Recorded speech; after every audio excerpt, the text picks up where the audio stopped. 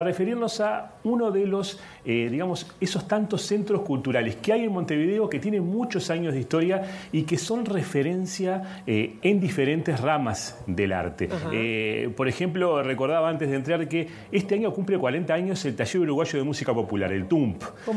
uno de sus referentes fue Rubén Olivera, que hace semanas atrás estuvo en este espacio. el espacio GEN, que une la ciencia con el arte, tiene entre sus referentes a Andrea Aroba, la directora de Frankenstein, que es un súper éxito de la Comedia Nacional. Eh, por aquí también pasó Graciela Figueroa, recuerdo saludando a una de las coreógrafas más importantes del mundo, como la brasileña Débora Kolker, una maestra de maestras de coreógrafa que dirige otro centro, que es el, centro, el espacio de desarrollo armónico. Y así podemos seguir con una larga lista, tanto en Montevideo como en el interior, de esos lugares que son como faros culturales. Hoy vamos a uno de ellos.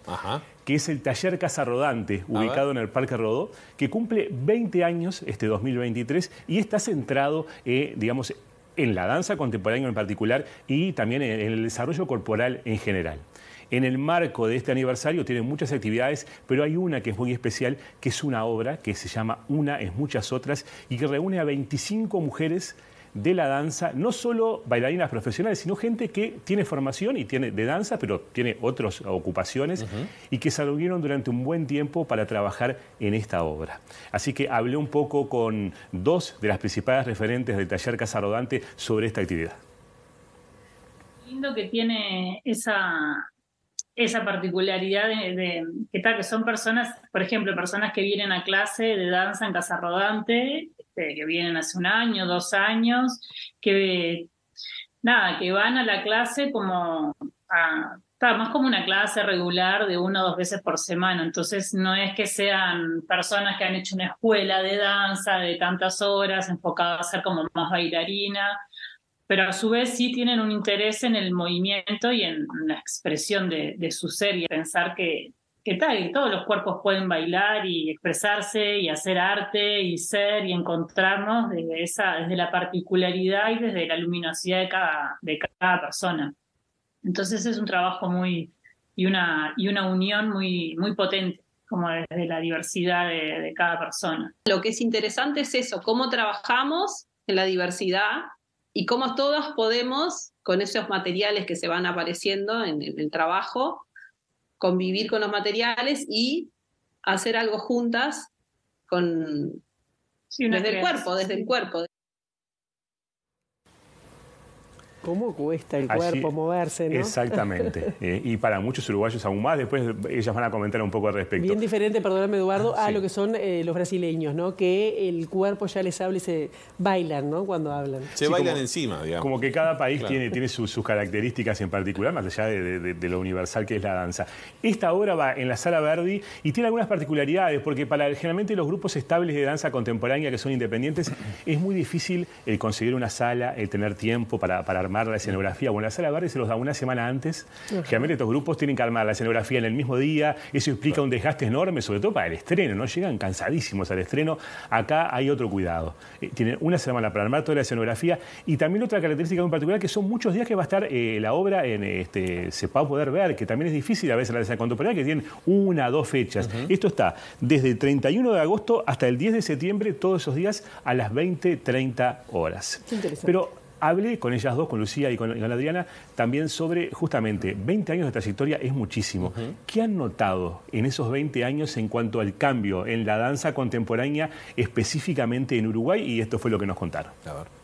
Yo vengo de larga data, vengo de otros lugares, soy como un, como un dinosaurio de la danza viviente, ya a esta altura, tengo 58 años, o sea, bailo desde los 12, los cambios eh, más grandes son a nivel de institucional, ¿no? Como la, danza independiente existe desde que yo nací, o sea, desde larga data, y tiene un trabajo repotente de larga data.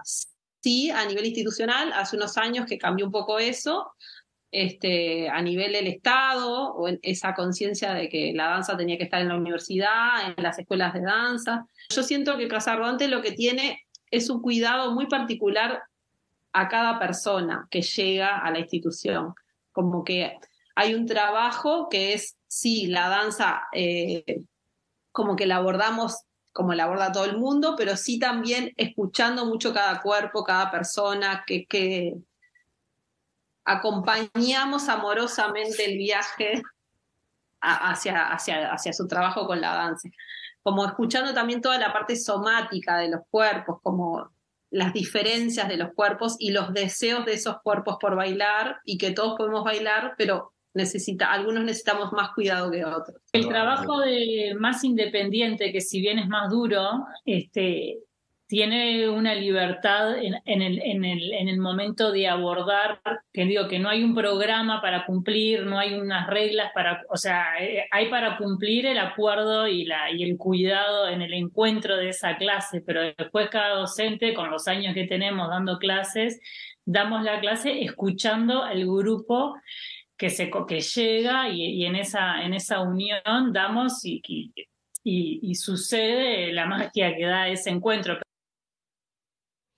Muy bien. ¿Todos podemos bailar, Eduardo Sí, ellas lo dicen, pero con absoluta certeza. ¿En serio? Así es. Yo no puedo. Anímese, Caraballo. No me anímese.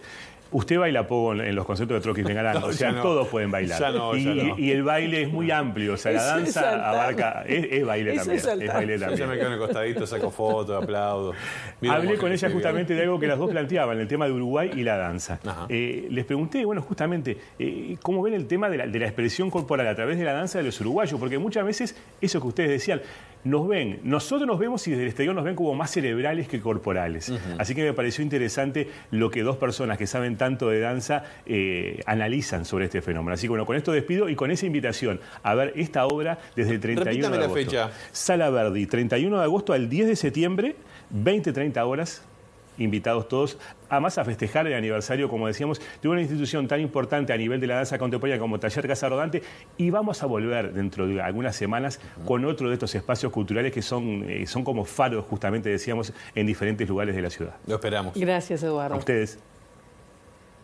Creo que hay, sí, como una cada vez más necesidad en el uruguayo, sí, de estar, de estar eh, en contacto con su cuerpo de qué manera hay una explosión de, gimnasios, hay una explosión de... Yo creo que sí que eh, en la danza sí hay como una cosa más sensible que te conecta con, con un montón de cosas que a veces si te pones a hablar no te sale como y, con el cuerpo sí. Sí, creo que da la oportunidad, tanto la danza como otras, de repente, pero la danza creo que más todavía, eh, eh, por ejemplo, el contacto, el, tocarse, el, trabajar de a dos, pero de un contacto, o sea, que, una, que alguien te ponga la mano en la espalda, lo que te da de información y de, y de como una herramienta muy saludable, que es de lo que lamentablemente no nos escapamos, o sea, como, como humanidad no, no, nos estamos regalando y generándonos un espacio de, de, de autocuidado, o sea, cuando algo nos duele nos vamos a que nos vamos hacia, más hacia afuera cuando hay una cantidad de herramientas que, tenemos, hay otras que no, claramente, pero hay herramientas muy simples que tenemos desde la respiración o posiciones muy simples que podemos hacer o encontrarnos con otra persona y, tocarnos desde un abrazo, que te pongan la mano, un calor, eso son, es una herramienta que tenemos ahí, que en la danza, en un espacio de, de danza lo promovemos, lo, lo potenciamos y es, es saludable.